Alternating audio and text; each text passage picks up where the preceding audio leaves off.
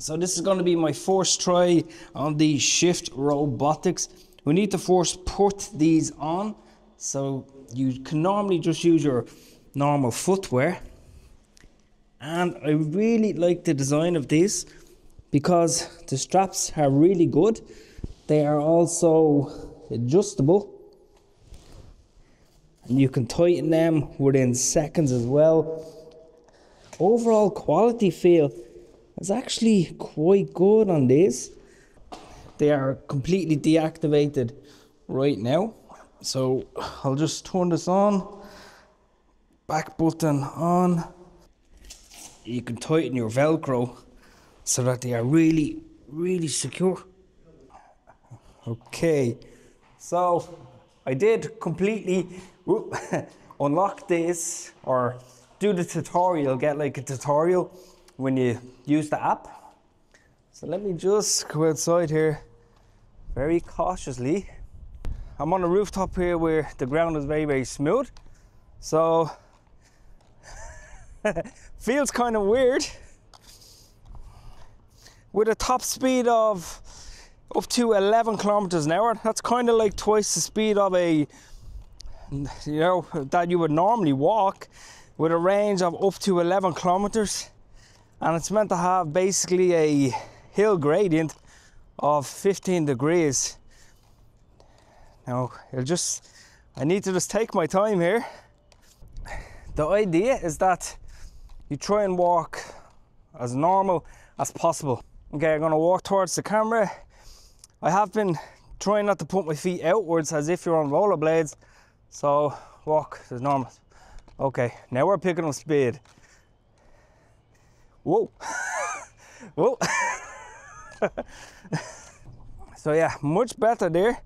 So I think the trick is to keep your feet kind of straight and then just walk normal. And then you hear the motors kicking in and then you pick up speed. Whoa. kind of a really weird feeling. I normally review electric scooters or electric bikes, but whoa, these things are actually. whoa.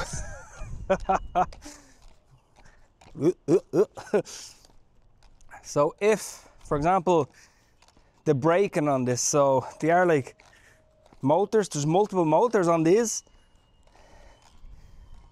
So, if you stop immediately, whoa, it's like they have regenerative braking. You go again. Whoop.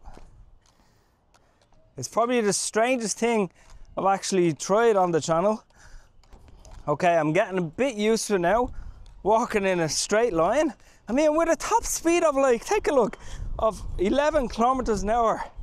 I mean, you would not really want to go any faster on something like this. They do weigh, I think, nine pounds total. So you're gonna have to take that into account. But I mean, wow. Okay, so let's talk about who would these be for.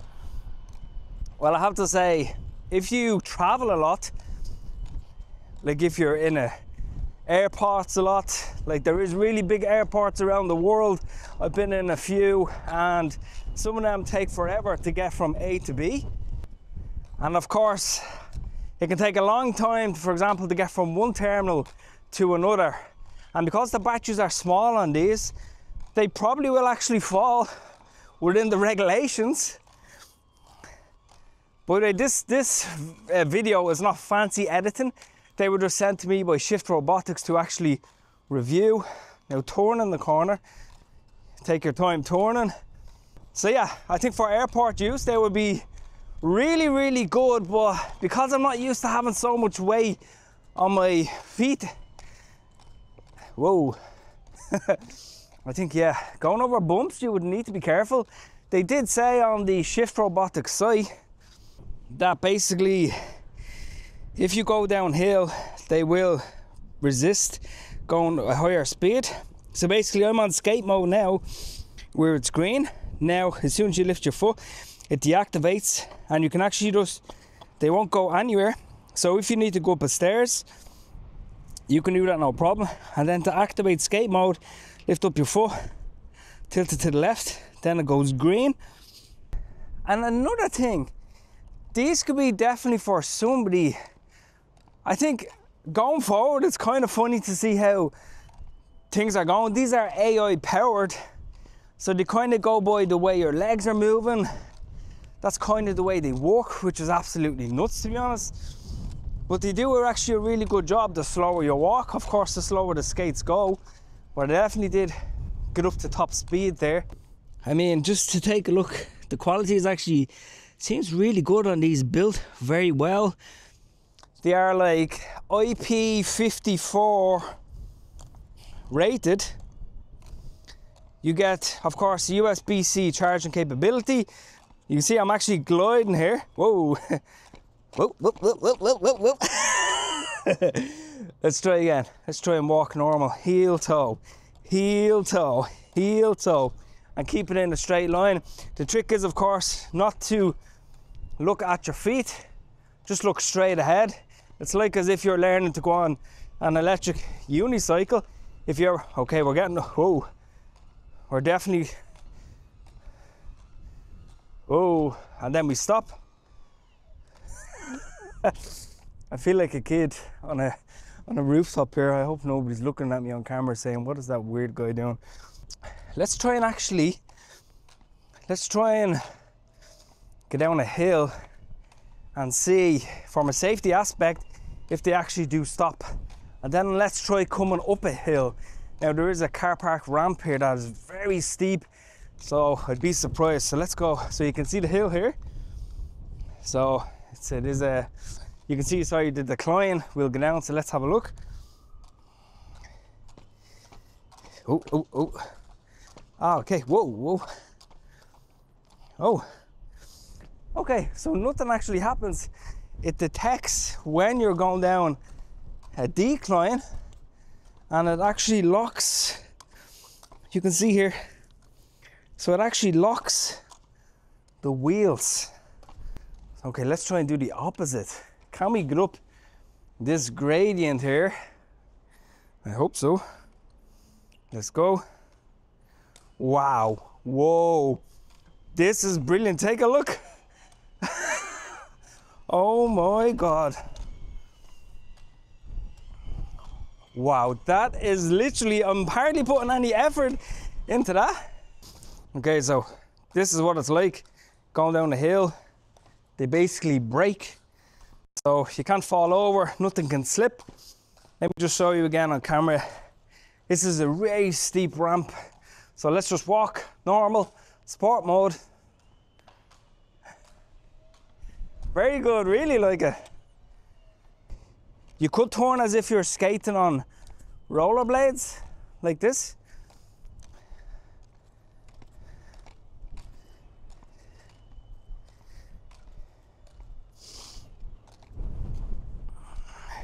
There is something kind of annoying about these skates. It's not really the motor noise, it's more so the noise of the wheels. And they would be the front wheels, from what I can see, making that noise clacking because they're just kind of like a plastic wheel. So if they were like a rubber wheel, I mean, that would be really nice because it kind of feels like if you were in a public area that people would be kind of looking at you that's why i kind of came to the rooftop here. But i think my verdict would be this. I'll talk about the price now. I'm after been on these now for 20 30 minutes overall and funny enough i do actually like them and they do have a purpose especially for people who have kind of some people who have specific mobility issues maybe maybe they would be good for them. Or warehouse workers they'd be excellent to get from a to b. But of course you would have to build up muscles on your legs because of the actual weight of these shift, shift robotic Aeros or moonwalker aero so they would be for those type of people. And of course people who travel a lot. So the people who travel a lot to get from one terminal to another, you could do it twice as fast, but I would like to see improvements such as the wheels. The noise on the wheels of these is kind of annoying. Motor noise is actually not too bad. I think the speed is more than enough. I think they're really a great invention and I'm excited to see how things progress in the future. God knows only what can come out, but let's talk about the price. They're just over $1,000. Now, the price I think is, I don't know, maybe it's a little bit too high, but you're paying for something that is completely new to the market, more or less. You're paying for, I guess, of course, the batteries are the most expensive thing in anything, to be honest. But the quality of the skates is actually uh, quite good. Straps are brilliant. Motors, of course, play a part because don't forget there is multiple motors on these right underneath here. So do I love these Moonwalker Aeros from Shift Robotics? Yes, I do. And I'm excited to see where they actually go with the development of these. God knows what the next model will be. I have a feeling that they're going to be able to make them more lightweight, less clunky, less noisy, and improve them as time goes forward. So watch this space with Shift Robotics because I have a feeling it's going to be one of them companies that's going to come out with these crazy inventions that we're probably going to end up loving and probably going to end up using in the near future. If you have enjoyed this kind of fun video, please give it a like, subscribe, and I'll talk to you in the next video.